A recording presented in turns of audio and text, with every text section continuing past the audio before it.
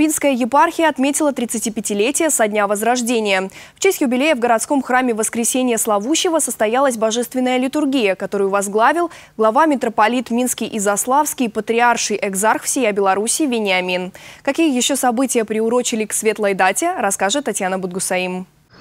Величественный храм Воскресения Славущего. Бывший кинотеатр «Дружба». Он был построен в советское время на фундаменте древнего храма святого великомученика Феодора Тирана, небесного покровителя Пинска. После реконструкции вновь обрел свой религиозный статус.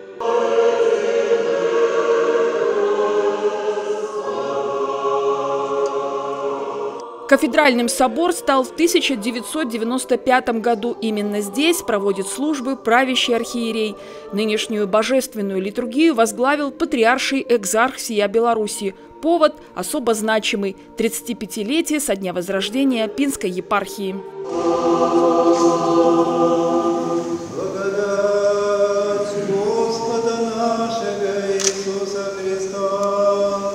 Уже в XIV веке центром Туровской епархии стал Пинский не случайно.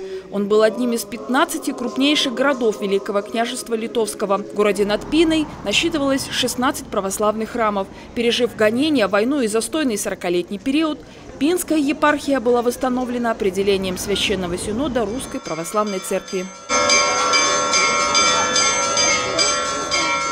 Для меня это особо важно, потому что там, где находится алтарь епархии, там был мой кабинет. И я была первая, кто всех заставляла поскорее освободить рабочие кабинеты, чтобы открылась наша епархия. По-настоящему, скажем так, искренние чувства испытываем во время э, э, прихода э, в храм.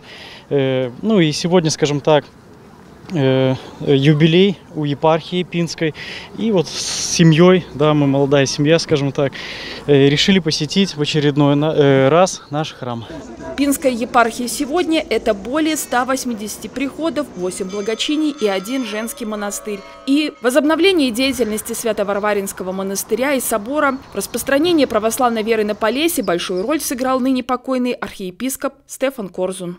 Историю Пинской епархии невозможно представить без имени архиепископа Стефана. Он возглавлял ее 32 года. За это время было построено более 80 храмов, совершено 327 рукоположений, а приходская жизнь наладилась в 60 новых приходах. Уроженец Червинского района за чистоту веры, искренности, сохранение церковных народных традиций полюбил Полесий Полишуков, поддержал Стефан и начинание Пинской второй гимназии по духовно-нравственному воспитанию школьников. Владыка Стефан очень много трудился с большой любовью, самоотвержением, особенно в последние годы, могу лично об этом засвидетельствовать, для Пинской епархии. И те люди, которые с ним непосредственно общались, хранят добрую память. Важно, чтобы эта память сохранялась и в подрастающем поколении. Миссию по сохранению памяти и воспитанию в детях духовности, нравственности и патриотизма теперь будет нести городской ресурсный центр, созданный на базе гимназии. Сначала мы вводили факультативные занятия, основы православной культуры, потом начали добавляться воспитательные мероприятия в круглогодичном цикле православного календаря. Потом мы э, нашли педагогов-единомышленников, с которыми реализовали три инновационных республиканских проекта. Сегодня гимназия – это площадка для учащихся города, которые могут участвовать в мероприятиях, проводимых совместно с Пинской епархией на протяжении всего года. Следующий шаг – увековечивание памяти высокопреосвященнейшего архиепископа Стефана через присвоение гимназии его имени. Работа в этом направлении уже ведется. Татьяна Будгусаим, Виталий Барташевич, телерадиокомпания «Брест».